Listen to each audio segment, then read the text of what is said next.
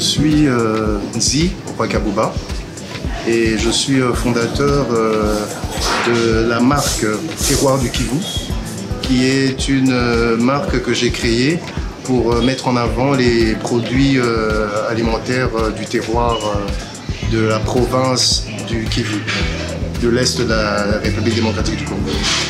La raison qui a poussé euh, à créer cette société ou cette marque, c'est que j'ai grandi dans une euh, famille, euh, je dirais, d'agriculteurs, parce que on est dans l'agriculture et l'élevage, ça fait quand même cinq générations. Mais euh, on vendait que les produits en tant que matière première. Et suite à la guerre et l'insécurité qui s'est passée dans, cette, dans le pays et dans cette partie du pays particulièrement, pendant une vingtaine d'années, nous n'avons pas pu travailler, donc tout était, était par terre. Et il y a cinq ans, je me suis dit que je voulais euh, continuer dans ce domaine, ça veut dire l'agriculture, euh, euh, l'alimentation, mais le faire en produit fini. Donc c'est un peu ce qui m'a poussé vraiment à, créer cette marque. Alors voilà, là il y a le fromage nature. C'est le fromage nature, c'est le plus gros qu'on fait. Et puis on a ceux aux épices, dont celui-ci c'est le fromage au pili. Alors euh, ici vous avez le fromage au poivre, poivre sauvage qui est un poivre quand même assez particulier euh, de l'Est de. Et puis euh, ça c'est le fromage aux herbes fines.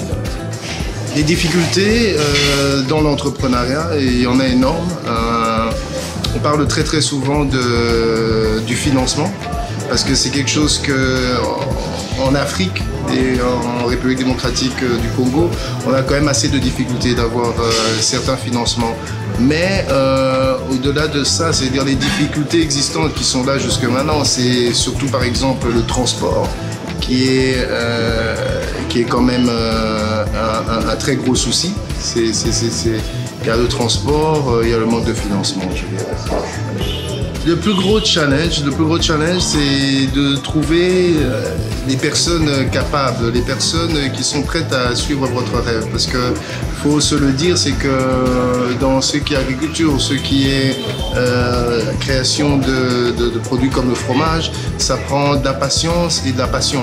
Donc, euh, c'était trouver ces personnes-là, et ça, c'est toujours au quotidien, parce que au fur et à mesure qu'on progresse, euh, je veux dire, il y a différents types de personnes qui doivent rejoindre l'équipe afin que notre produit puisse être euh, un produit de valeur non seulement au niveau national, mais comme nous pensons aussi au niveau international. Donc, euh, euh, trouver les personnes qui nous font confiance, trouver ces différents restaurants, ces, supermarchés qui sont prêts à, faire confiance à des produits faits d'ici.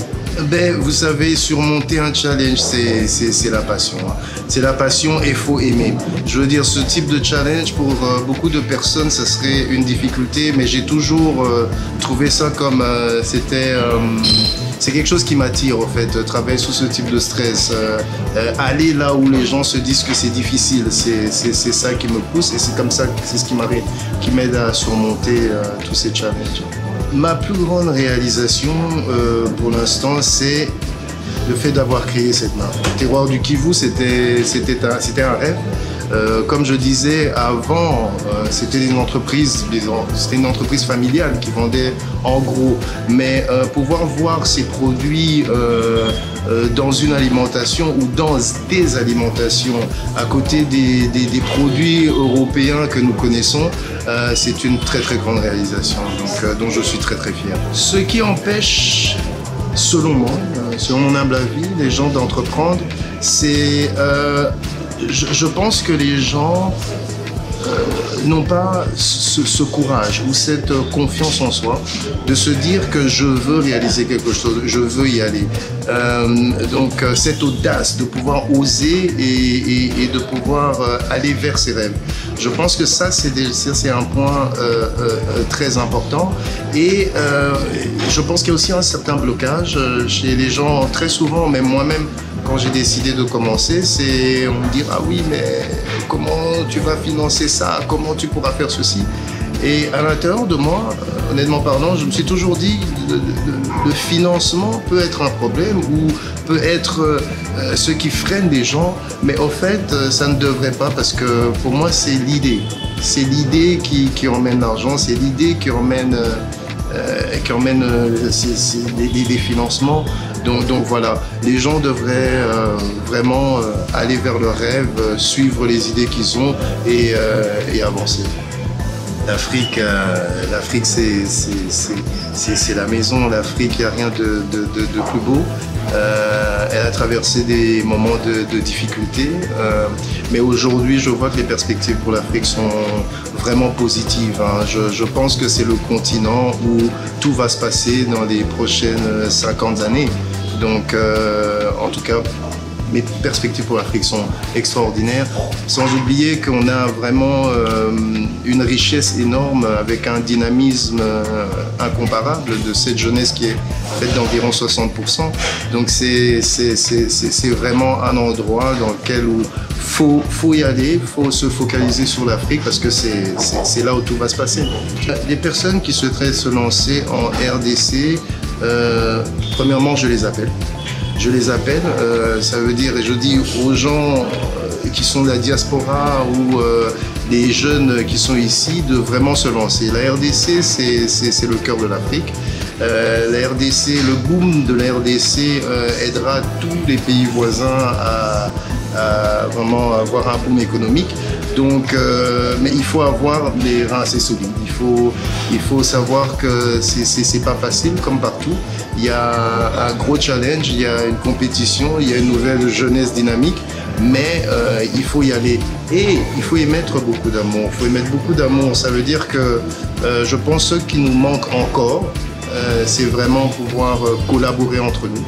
Collaborer entre nous, fils du pays, collaborer entre nous, Africains vivant en Afrique et ceux de la diaspora. Et voilà, je pense qu'en union, on pourra vraiment euh, faire quelque chose de merveilleux. Entreprendre, c'est rêver. Entreprendre, c'est l'aventure, c'est le rêve, c'est la passion. Voilà. Euh, des projets d'avenir, comme je dis, là, on avait commencé euh, avec le fromage. et on fait différents types de fromages, donc les fromages aux épices, Billy, aux herbes fines, euh, et du fromage normal, Gouda, du Gouda jeune. Euh, là, on est en train de travailler sur euh, le café parce que on avait gagné aussi un prix pour cette année, en 2018, le meilleur café en termes d'acidité qui venait aussi de l'Est, donc ce qui était aussi une très bonne chose. Donc on va se lancer très bientôt dans le café, dans le poivre sauvage que nous fournissons déjà à plusieurs euh, grands restaurants renommés euh, ici à Kinshasa. Et euh, bientôt, nous allons livrer ce poivre aussi en Belgique et, en France. Nous sommes en train de, de, mettre plusieurs produits assez spéciaux sur le marché congolais. Donc voilà. Et en parlant d'actualité, nous avons été aussi appelés pour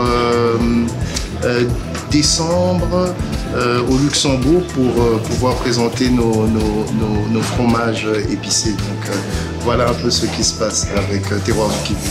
Ben, écoutez, vous pouvez nous suivre sur terroirdukivu.com ou Terroir du Kivu sur Facebook et Twitter. Et nous sommes toujours là pour discuter avec nos clients et nos futurs clients.